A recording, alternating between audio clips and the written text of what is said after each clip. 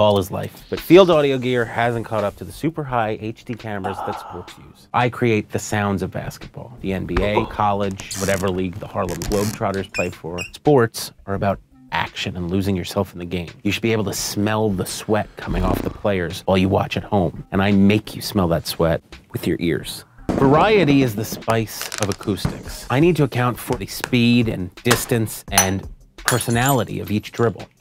When all else fails, you go with the original.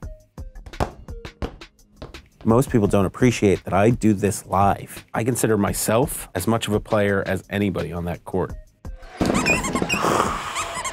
Doctor says I'm going to be deaf in seven years. If I live that long. You could stay, but I gotta get naked for this.